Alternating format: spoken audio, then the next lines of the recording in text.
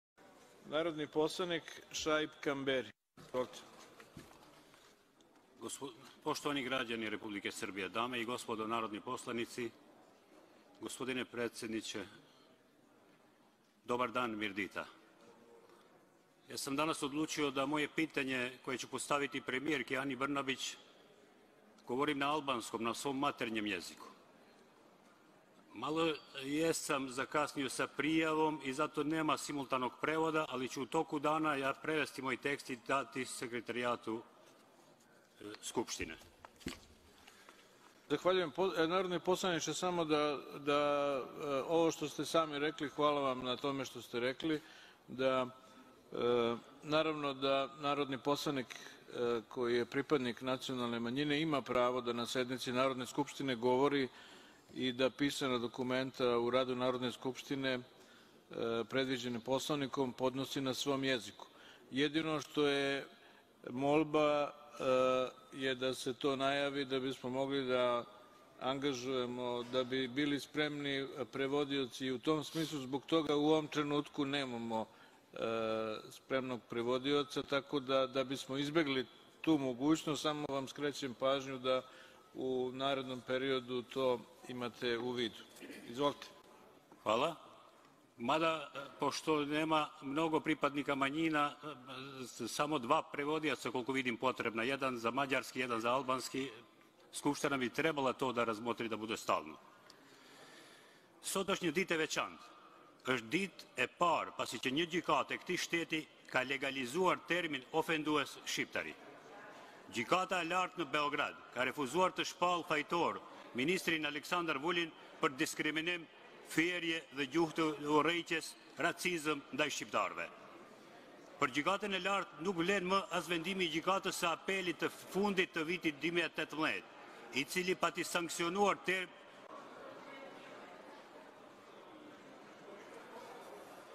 Ja bih vas zamolio samo da, zamolio bih vas da tišinu dok narodni poslanik govori. I cili pati sankcionuar termin përdorimin e termit shiptar si gjuhë urrejtje. Nuk vlen as mendimi i komisioneres për mbrojtjen e barazisë, Brankica Jankoviq, që e ka cilësuar përdorimin e termit shiptar. Ja mislim da sam bio jasan kad sam rekao da sam zamolio. Nisam zamolio, nego sam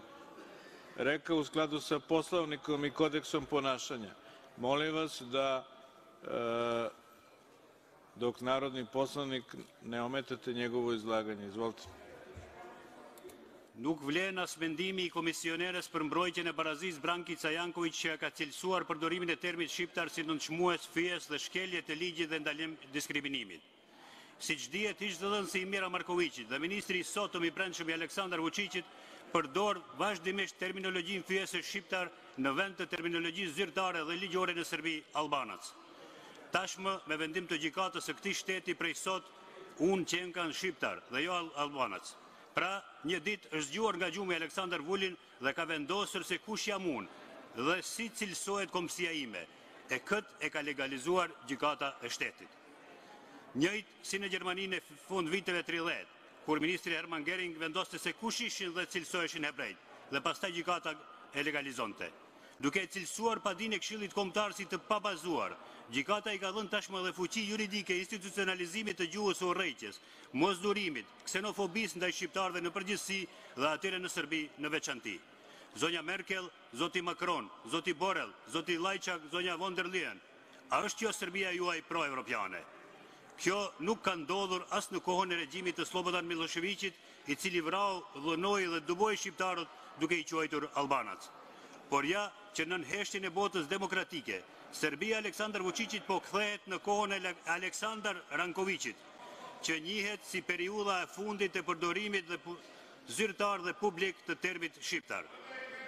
Të respektuar kolegë, Vendimi i Gjykatës së Lartë në Beograd është edhe precedent tepër i rrezikshëm për minoritetet në Serbi, por edhe në Ballkanin Perëndimor.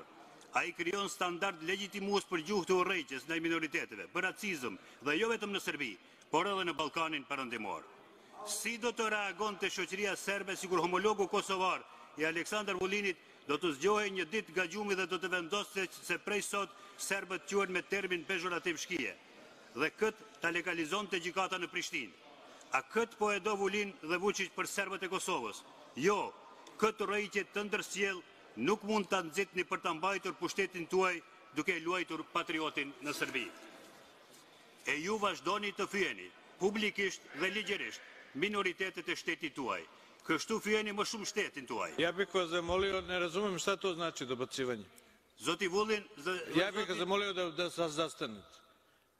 Sushtete, mi smo ovdje posenici Narodne skupštine Republike Srbije koje donela zakone.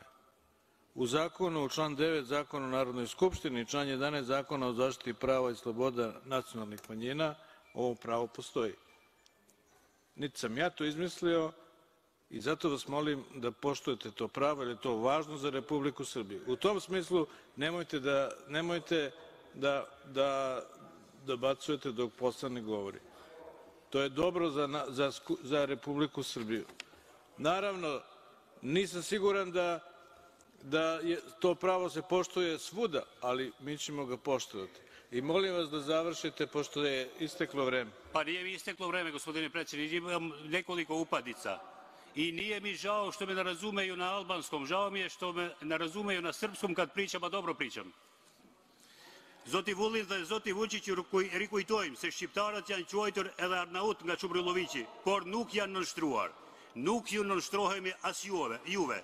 Kot e keni. Madje pas vendimit të djeshëm të gjykatës, unë jam edhe më i bindur se Serbia e juaj e urrejtjes nuk do të fitojë. Ballkani i paqesh, paqes, bashkëjetesës, respektit të ndërsjellë nuk ka alternativë. Prandaj rënia juaj nuk ka alternativë. Me këtë rast pyetja ime për kryeministren Brnabiq është se a do të instalohet kjo gjuhë e urrejtjes si standard në qeverinë tuaj në komunikim me pakicat dhe sidomos shqiptarët. Ju faleminderit. Hvala.